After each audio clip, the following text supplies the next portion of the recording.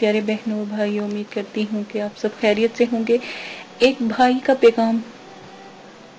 آج لائیو تو نہیں میں ان کا نام لوں گی، لیکن ایک بھائی ہیں، بہت زیادہ رو رہے تھے، بہت زیادہ پریشان تھے، تکلیف میں تھے۔ کہتے تھے کہ ہم بہت زیادہ امیر تھے، لیکن یقین مانے کہ پتہ نہیں ایسا وقت آیا کہ میری جو بیوی ہے، پاگل ہو گئی۔ پریشان حال ہو گئی۔ تو لوگ میرے گھر کو دیکھ کر اور میرے حالات کو دیکھ کر ہنستے ہیں۔ تو بھائی، آپ پریشان نہ ہو وہ ظالم ہے آپ ان کی باتوں کا برا نہ منائیں یہ مطلب کہ دنیا رہنے کی جگہ نہیں ہے۔ اگر آپ کے پاس دولت، رتبہ، ہر چیز تھی، اللہ پاک نے لے لیا، تو اس میں کوئی نہ کوئی مسلیت ہوگی۔ نہ جو آپ پر ہنستے ہیں، وہ رہنے والے ہیں۔ نہ آپ اس دنیا میں قیام پذیر ہیں آج مر جائیں تو ایک مہینے کے اندر ہڈیوں گل کر برادہ بن جاتا ہے۔ تو اس چیز کو چھوڑ دیں، لوگوں کی باتوں کو چھوڑ دیں، اپنی بیوی کو سمجھائیں کہ وہ اپنے آپ کو ٹھیک اور درست کریں اور پاگل نہ بنے روئے نہ۔ مجھے بہت تکلیف سے کہنا پڑتا ہے کہ مجھے اس طرح کے وظائف پیش کرنے پڑتے ہیں جس میں مجھے خود بھی تکلیف ہوتی ہے، ان کی باتیں سن کے اور رونا آتا ہے کہ ایسا کیوں ہوا ان کے ساتھ۔ تو نئے گھر اور بے تحاشا دولت کے لیے یہ آج میں آپ کو وظیفہ بتاؤں گی۔ ٹھیک ہے، دس بار آپ نے پڑھنا ہے، اس عمل کو دس بار پڑھ کر اللہ پاک سے دعا کریں۔ پھر سب کچھ اللہ کی ذات پر آپ نے چھوڑ دینا ہے۔ وہ کرم کرنے والا بہت بلند کارساز ہے۔ یہ چھوڑ دیں۔ کہ اللہ کی ذات آپ کے ساتھ نہیں جڑی یا رحمت آپ کے ساتھ جڑی نہیں۔ آپ کوئی کام نہ بھی کرو، آپ کا رزق آپ تک پہنچ رہا ہے، آپ تک آپ تک آئے گا۔ میں آپ کو ایک چھوٹی سی مثال دیتی جاؤں اس وظیفے کے بعد کہ آپ نے کیا پڑھنا ہے۔ یا رزاق یا رزاق آپ نے پڑھنا ہے۔ صرف چالیس دن تک بہنیں ہیں، اکیس دن تک یا چالیس دن تک اس کی جتنی تعداد میں بھی آپ ورد کر سکیں، کریں، چاہے دس مرتبہ کریں، بھول جائیں، پھر شروع کریں، بھول جائیں، پھر شروع کریں۔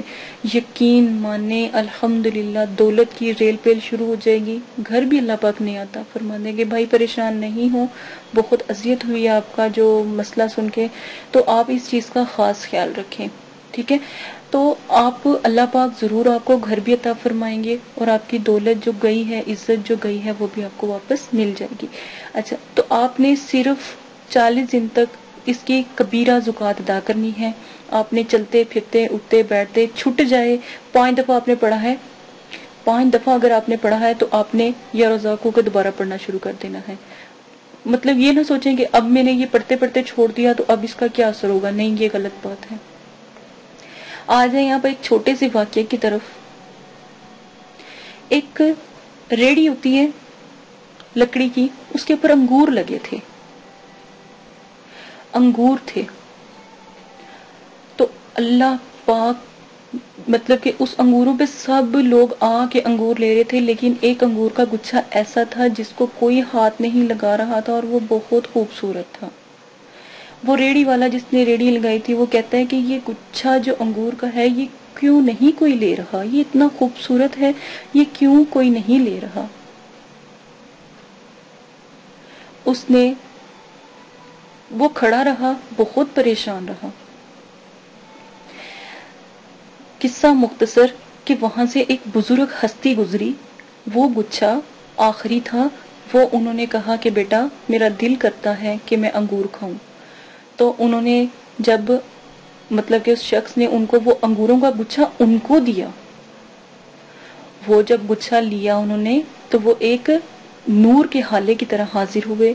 انہوں نے کہا، میں فرشتہ ہوں۔ اللہ کی رحمت سے بھیجا گیا ہوں۔ میں یہاں تب سے کھڑا ہوں جب سے یہ گچھا اس ریڑی کے اوپر رکھا ہے۔ اور یہ گچھا کسی بیمار شخص کے کام آنے والا ہے۔ تو وہ اس تک پہنچانا ہے۔ تو یہ اس لیے نہیں کوئی لے رہا تھا۔ یہ جس کا نصیب ہے، یہ اسی تک ہی جائے گا۔